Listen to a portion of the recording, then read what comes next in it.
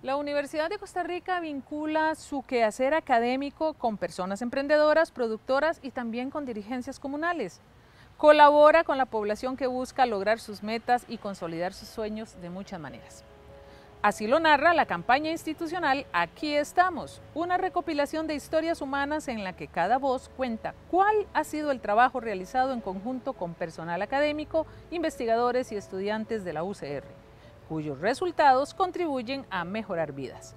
Y es justo allí donde están las acciones más transformadoras de la participación institucional en el progreso nacional.